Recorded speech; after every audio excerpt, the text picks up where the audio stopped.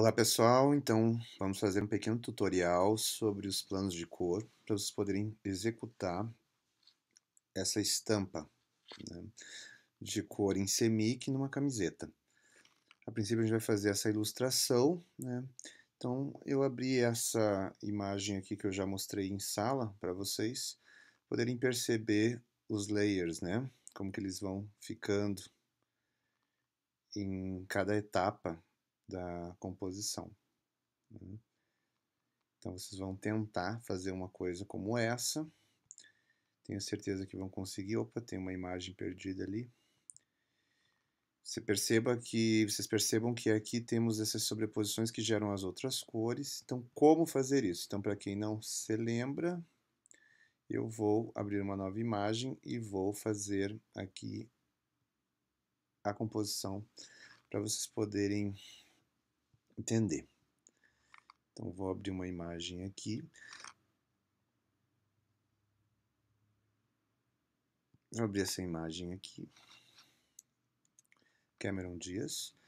Bom, primeiro de tudo, vocês têm que tirar o cadeado aqui do background, nesse canto direito, né? Clicando duas vezes no layer, ok. Daí vocês vão duplicar esse layer. É, esse layer pode ser duplicado clicando com o botão direito do mouse, aqui, ó ou também puxando né, esse layer com o Alt Option apertado, a tecla Alt Option no Mac. Você puxa assim, ó, já abre duas setinhas ali, você arrasta. Você tem que duplicar quatro vezes, tá? Para ter cada um dos planos. Então você vai renomear clicando duas vezes, ó, Cian, dá dois cliques, magenta, vai dois cliques, amarelo, dois cliques, preto. Isso vai facilitar na hora de mudar os planos, né? É... Lembre-se que vocês vão ter que fazer isso para várias imagens, não é só para essa. No caso aqui eu estou usando uma imagem só, vocês devem usar mais de uma imagem para gerar o efeito de sobreposição. Como eu coloquei aqui num outro exemplo também. Né? Se você olhar aqui nesse plano de, nesse, nessa ilustração, ó, são várias imagens diferentes sobrepostas. Estão vendo? Então, o interessante é essa, essa diferença em imagens, né? Quanto mais as imagens forem diferentes, melhor vai dar o efeito da, da transparência e da sobreposição. Bom, voltando. Aqui. Bom, nesse aqui, você vai selecionar o Cian, vem em Image ou Imagem, Ajustes, em seguida vem em Channel Mixer ou Misturador de Canais, vai abrir essa janela. Como essa imagem está em RGB, na verdade, o melhor para o exercício é que vocês transformem em CMYK, tá? Então, vou voltar e vou aqui em Image Mode e vou transformá-la em CMYK. Dá pra, don't merge, tá? Para deixar os layers separados mesmo. Merge é quando ele vai juntar os layers, tá? E dá OK. É, dá para fazer com RGB também, se quiser, tá? Eu faço mais em CMYK mesmo. Vocês podem fazer uma experiência caso queiram, tá bom? É, então, selecionado o cian, venho em Image, Imagem, Ajustes, daí venho em Channel Mixer ou Misturador de Canais. Clico aqui. Como essa, esse é o canal do cian, eu vou deixar cian 100%. Daí eu mudo aqui para magenta, vou deixar zero, porque esse é o canal do cian. Ó, vocês estão vendo que já vai, ele já tirou o canal do cian. Agora eu vou deixar zero aqui no amarelo. E por último, vou deixar zero no preto. Aqui temos o canal inteiro de cian. Vou só tirar ele para fazer o próximo. Magenta, e-mail de ajustes, misturador de canais. Agora, como eu estou no magenta, aqui vai ser zero no cian. Daí agora o magenta deixa sem normal, porque é o canal dele. Yellow, vamos deixar zero. E por último, preto, vamos deixar zero também. Em alguns casos dá para deixar o preto, vejam aqui nessa configuração como ficou bonito o magenta com o preto. Fica bom, né? Mas aqui vamos fazer o jeito clássico, né? Depois vocês vão experimentando conforme a vontade e a estética que vocês estão usando. Aí, temos aqui já os dois canais, ó, o cian e o magenta. Vamos desclicar o olhinho, vamos fazer o amarelo agora imagem ajustes, channel mixer, sempre o mesmo processo. Como é o amarelo, vai estar zero, O magenta também vai estar zero. O amarelo vou deixar sem normal, não mexo em nada. O preto vou deixar zero. Fiz o canal do amarelo. E agora vamos fazer o canal do preto. Imagem, ajustes, Channel Mixer. Cian vai ser zero, porque esse é o canal do preto. Magenta vai ser zero também. Yellow, zero. E tá aí preto, preto vamos deixar sem mesmo normal, tá aí o canal. Agora, para gerar o efeito de sobreposição, vocês devem selecionar os layers e colocar aqui, ao invés de normal, colocar multiply, que daí ele vai mesclar. Vamos ter que fazer isso em cada camada, tá? Multiply, ó.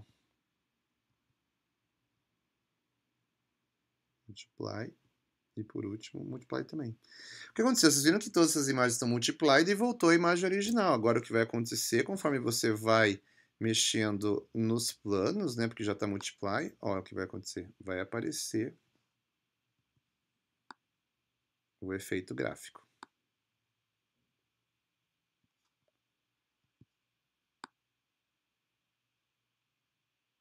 Aqui o amarelo e vou deslocar o preto também. Às vezes você pode tirar um dos canais, ó, fica legal também. Interessante. Vocês não precisam usar todos os canais visualizando, né? Porque na verdade vocês vão fazer o exercício, vocês vão usar talvez dois canais de uma imagem. Então digamos que eu usei esse daqui, ó. Usei esse. E agora eu vou sobrepor uma nova imagem que também né, vocês teriam que fazer todo esse processo de novo em cada imagem que vocês colocarem. Então eu vou abrir uma nova imagem aqui.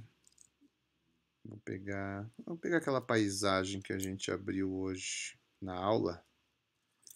Vou dar um comando ou Ctrl A para selecionar tudo, comando C para copiar, daí eu venho aqui para a imagem que a gente está fazendo e dou um comando V, tá aí a imagem. Né?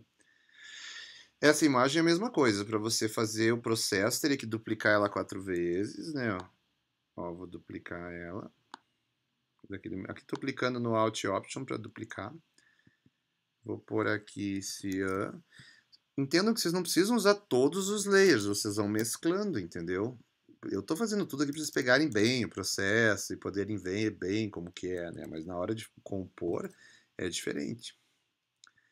Então vou pegar aqui o Cian. Mesma coisa, imagem, ajustes, é, Channel Mixer, e vou tirar o magenta, né?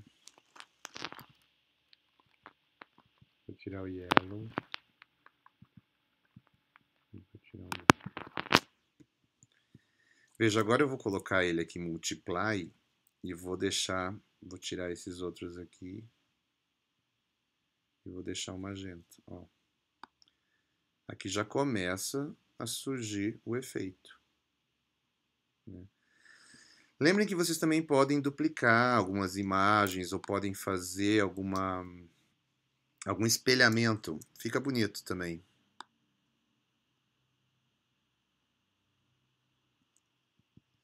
Então eu vou aumentar aqui ó, o rosto dela para ela encaixar aqui.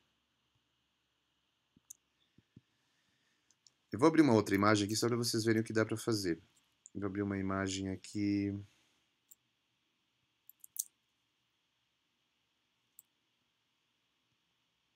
que é de uma ilustração também que eu fiz, que é uma ilustração C-Punk. Então vamos pegar aqui, tampo mesa, Vou pegar essa foto aqui. Ela já está com o fundo recortado, tem essa foto, vou duplicar ela aqui, fazer a duplicação, né?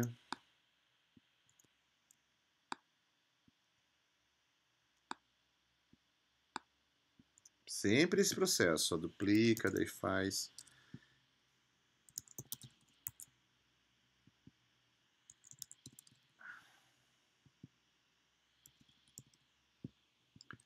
Vou fazer o do amarelo aqui, só para a gente ver como que vai ficar, e vou jogar esse amarelo, esse amarelo para lá, tá?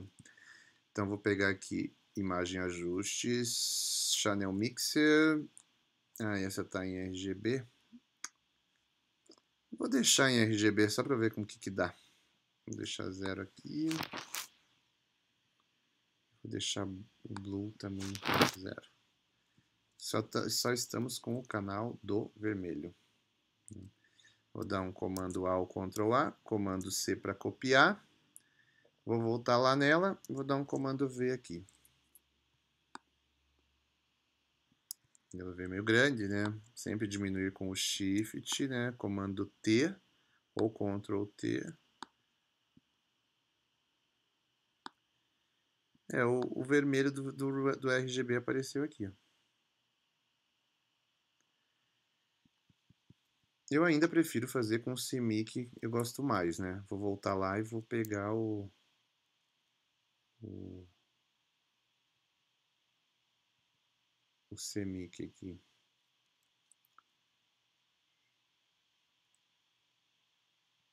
Onde é que ele está aqui agora? Foto 2.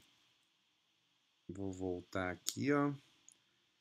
Open. Vou transformar ela em CMYK aqui em cima, Image Mode CMYK.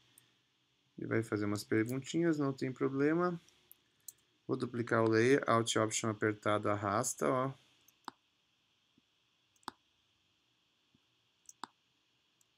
Hum, tá deixando. Aí, tem que clicar bem em cima e puxar.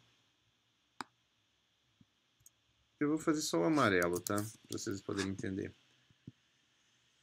Image, ajustes, Channel Mixer, como esse é o canal do amarelo, vamos deixar 0 cian, 0 magenta, amarelo vamos deixar como tá, preto, vamos deixar 0. Ó, esse é só o canal, vou tirar os outros, o canal do amarelo. Vou dar agora um comando A ou Ctrl A para selecionar tudo, comando C ou Ctrl C para copiar, volto lá para minha imagem original e jogo aqui, Ctrl V está um pouquinho maior, né? Porque essa imagem é uma resolução alta. Ele já vê aqui o amarelo. E aqui você já consegue construir. Dá para dar um multiply nele aqui também, ó, ele vai mesclar mais ainda. Sem o multiply, às vezes dá vontade de deixar sem, né? Esse aqui até ficou bom sem. Eu vou duplicar esse layer e agora eu vou espelhar ele aqui, ó, em imagem. Não é edit. Onde que é espelhamento mesmo? É edit, transforme. É, flip horizontal. Olha lá. Eu puxo para cá. Aqui o já construído, eu posso colocar o olho dela aqui. Eu posso ir mudando a ordem dos layers, né? Como eu ainda não dei multiply nesses dois, ela acabou ficando para cima, mas ó, ficou legal o olho dela ali, né? Então é mais ou menos assim, pessoal. Espero que vocês consigam selecionar as imagens. Lembrem-se que são temas. Vocês podem pegar vários tipos de tema. Pode ser paisagem, pode ser obras de arte. Procurem pelo Gustave Doré, pelo Dürer, Albrecht Dürer, artista do Renascimento alemão. O Doré é um gravurista francês incrível que ilustrou Divina Comédia, é, Don Quixote, fez várias coisas que dá também para sobrepor. Entrem no site do Karnovsky e tentem buscar uma inspiração para esse trabalho.